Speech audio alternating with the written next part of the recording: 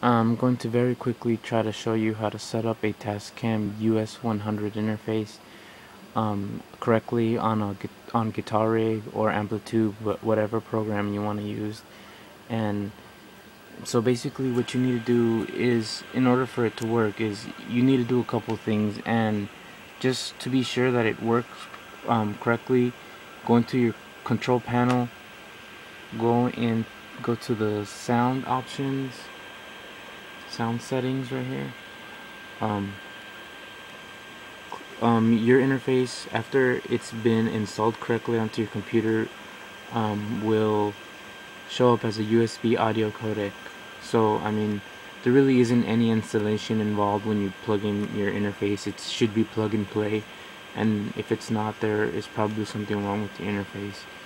Um, so um, yeah just click on click on that go into advanced make sure that it's on DVD quality and not CD quality because you need um, for me I've tried using CD quality on Guitar Rig and Amplitube and it, it it's unusable. It just sounds like noise.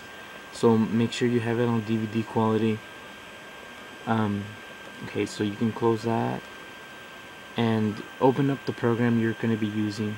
Um, Guitar Rig, Amplitube, whatever um, go to the audio and MIDI settings. And you need ASIO for all okay? You need to download that or else this will not work. This will not work. You can't use direct sound. It, it, it will have tons of latency. It will, will not work. So if you don't have it download it. That's what it looks that's what it looks like. Spell it just like that. ASIO for all.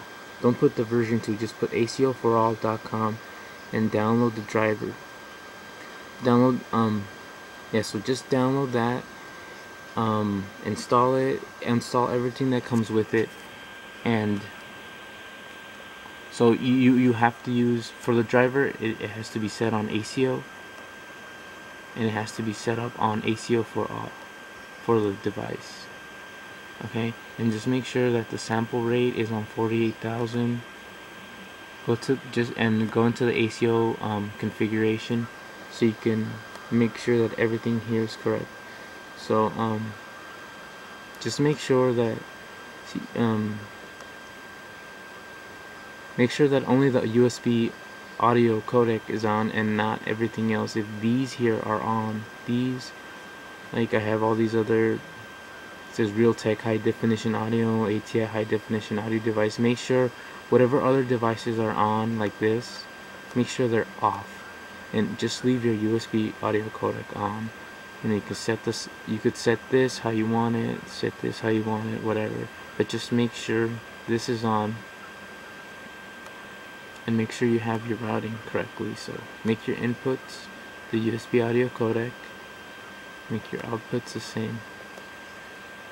And after that it should work perfectly. I have no problems um, using this interface. It's been pretty much clear as crystal clear pretty much. There's not there's in there's no noise on it. It um it's not muddy. It sounds great for what it is and I got it at a good deal so that's how you set it up and I hope this was helpful